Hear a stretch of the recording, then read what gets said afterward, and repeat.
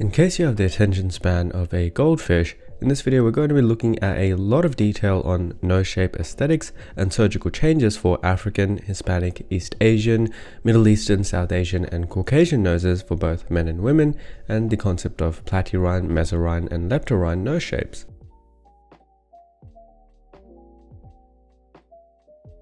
If you've seen our previous video on how climate influences your nose shape, then you're likely aware that people of different ethnicities and geographical regions have different nose shapes overall. Part of this shape is a long-standing adaptation to your local climate to maximize airflow while minimizing irritation. But with the world being more globalized now than ever before, Heterogeneous societies like the United States and the United Kingdom are made up of demographic minorities of African, Hispanic, South Asian, and East Asians, among others.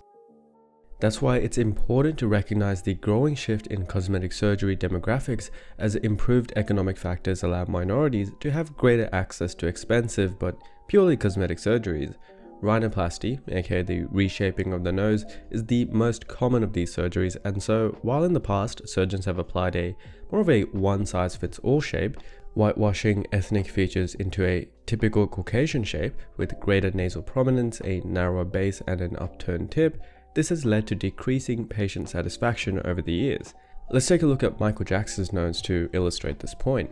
With Michael being born to African descent, his facial features show phenotypic expressions of African features, especially the mid-facial width, the facial width to height ratio, the scleral show, and most notably the very wide chin. Changing the skin color to a pasty white, be it for vitiligo or other reasons, doesn't change his African features. Shortening his naturally wide nasal base to a sharp, upturned point that you see only in people from the coldest of climates doesn't change his dentofacial dimensions.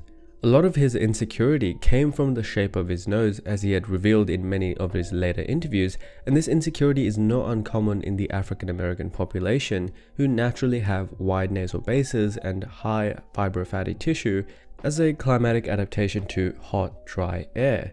The issue isn't in getting your nasal shape changed to be more comfortable in your body, but rather how your surgeon designs your rhinoplastic changes to suit your ethnic features. In Michael's case, his surgery was when he was 21 to repair a broken nose, and the idea of nose shape planning by ethnicity was not a very big concept at the time. When you have a face as naturally wide as Michael's, having a thin and dainty nose greatly harms your proportion and harmony with your other features. The problem then is that a lot of what we find beautiful is actually based on social acceptance. Many rhinoplastic patients do want a more westernized nose because they live in the Anglosphere as a minority. Much of the neoclassical proportions that surgeons are taught were based on Renaissance understandings of beauty, which only suit a select few people, even among the Europeans that these standards were developed for. From Farkas's revision of these canons, we can see that they're not very well suited for the African face and nose. Nowadays, surgeons and, well, Q Studios uses anthropometric studies based on the target ethnicity itself. So for example, Middle Eastern values for a Middle Eastern subject, but these are the averages for an average looking population. The most attractive Middle Eastern faces, for example, would have features and values that surpass the average nasolabial or nasofacial angle, which is what makes them above average in looks after all. So for many surgeons, a lot of it is guesswork and experience. If your surgeon doesn't have a large portfolio of people who look similar to you, then you are at risk of getting a nose that doesn't really complement your ethnic features. Apart from cost, medical tourism, especially for rhinoplasties, is popular because ethnic surgeons who share the same ethnicity as you and operate on people of your ethnicity in your ethnic region will obviously have far more experience with your nose type than somebody who doesn't. From Patel et al.'s paper, here is a good example of a good nose job. East and Southeast Asians typically have a very flat nasal bridge, which is one of the features that anthropologist Doug Jones mentioned as making their faces appear very neotenous or childlike. The surgeon here has augmented the nasal bridge and has developed a smooth, consistent line through the dorsum, reducing the sharpness of the supratip break and the supratip lobule. The nasal base does appear to be left untouched, which is actually quite good because it's proportionally suited in between her medial canthus, and so if it ain't broke, don't fix it. Cobo's 2017 paper actually devised a way to categorize the flatness of East Asian noses compared to the sharpness of Northern European ones. Firstly, platyrrhine noses are more common in those with African descent or Southeast Asians, with small nasal bones, a low radix, a wide dorsum, reduced tip support, decreased forward projection, a lower nasolabial angle, which just means that the nose is more downward facing, and most characteristically a wide nasal base. Next is a leptorrhine nose, which are more commonly seen in Caucasian patients, and Patel et al. considers them to be anatomically the opposite of the platyrrhine nose, with a high radix, well-developed bones, a narrow dorsum, and a well-defined and quite projected tip. They also seem to naturally have some degree of rotation to them, which some may consider unsightly or misconstrue as a deviated septum. Lastly, mesorrhine noses are seen in the Hispanic populations with features in between the platy and the leptorrhine shapes. The tip is not as well projected and the nasolabial angle is more acute, meaning that the nose is more downturned with an intermediate amount of soft tissue and thickness. According to Cobo, the noses of the world belong to some combination of these three categories. Instead of assigning people by race or ethnicity, it may just be easier for surgeons to classify them by their nasal characteristics. Let's start off with the African American nose. Baker et al.'s paper in 1984 found that most African Americans did not want their noses to be transformed into resembling Caucasian nose shapes. Some of the most common reasons for wanting a rhinoplasty were that they felt that their noses were too broad or wide.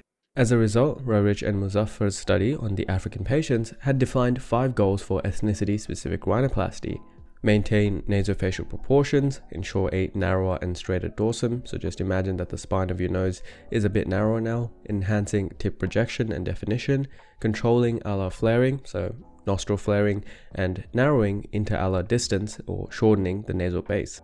One of these challenges is improving tip projection, which is typically quite flat due to African noses having more fibrofatty tissue than Caucasian ones. However, Rohrich's study, among others, have shown that underneath this fatty tissue, the structure of African noses is actually quite similar to the Caucasian nose in terms of structural integrity, cartilage strength, and cartilage distances. While these noses may have some similarities, African dentofacial features are very different, with a higher percentage of Africans developing bimaxillary protrusion. This gives the chin a retruded look as the upper jaw, or the maxilla, protrudes forwards and makes the nose appear even flatter. We've covered this in depth in this video over here, going over the statistics of how often it occurs and how it affects aesthetics, and in another video we've used Michael B. Jordan in this celebrity analysis.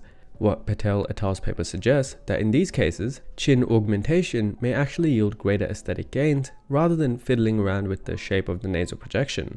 This is because we evaluate the face as a whole, especially in the side profile, and so if the chin is heavily retruded or has some kind of dentofacial anomaly, then that's going to draw our attention away from the nose.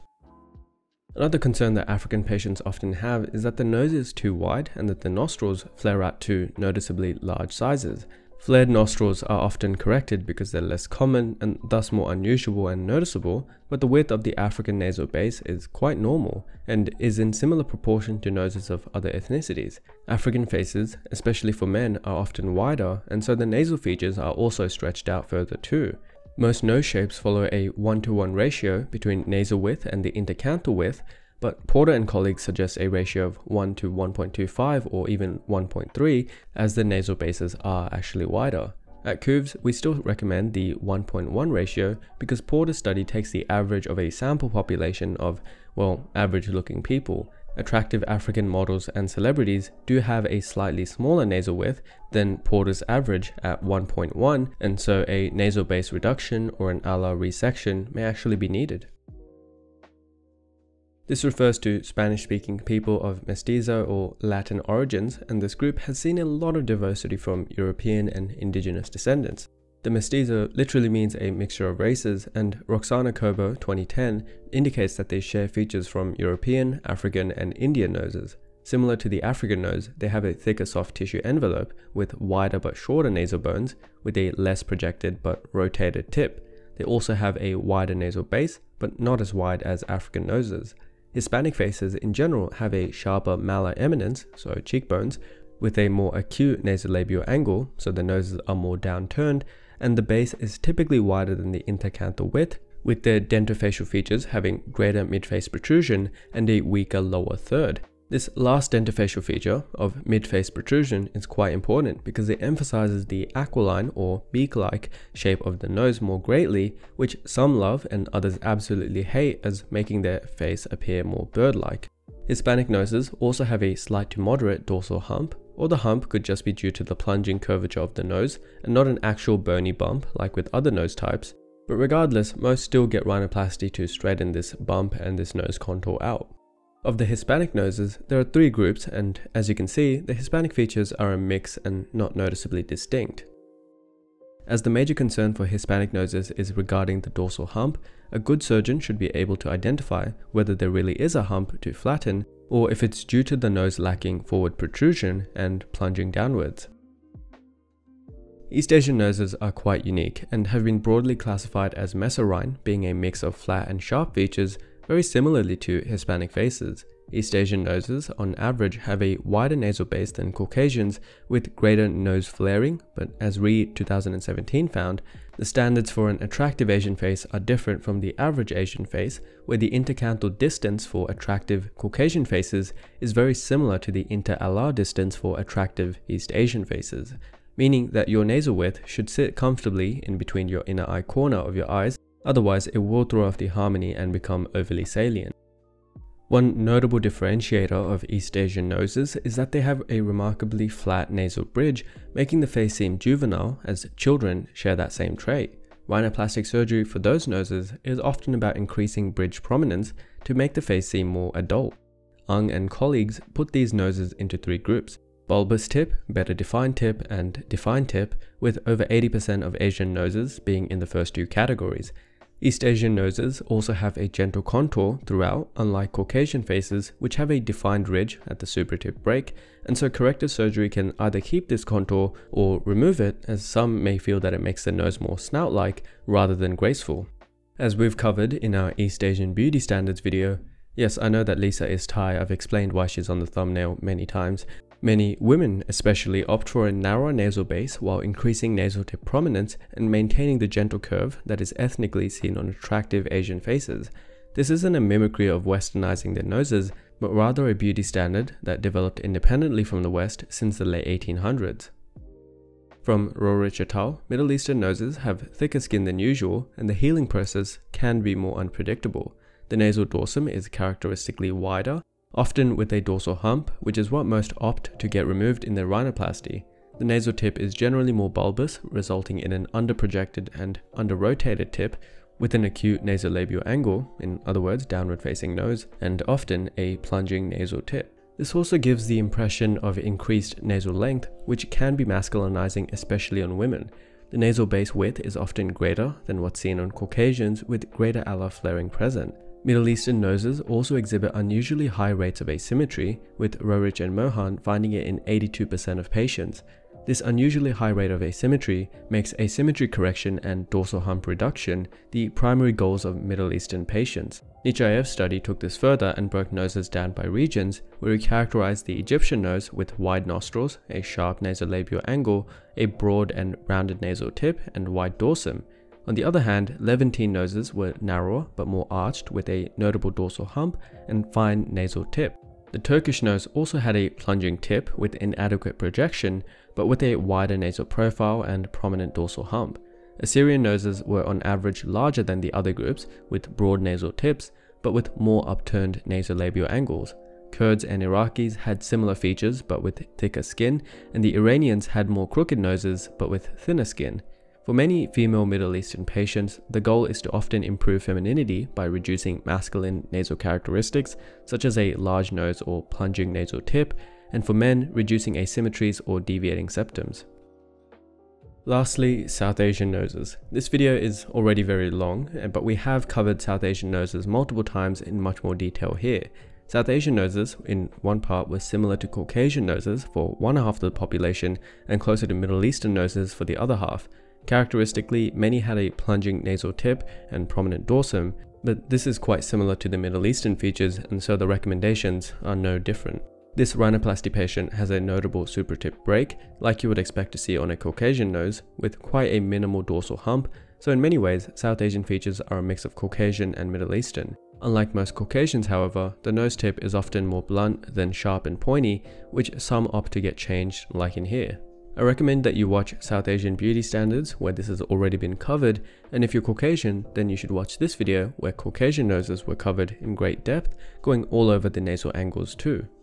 So there you have it. If you want to learn more about your nose or get an in-depth consultation from our medical team or an in-house plastic surgeon on what type of nose you have, your options and Photoshop morphs or what to look for, then order a QOVES aesthetics report with 24 pages of anthropometric assessment for your facial features or request an online consultation with one of our doctors about a specific area of concern. As always, I also recommend you follow us on TikTok and Instagram to get just as much quality content as you see us on YouTube.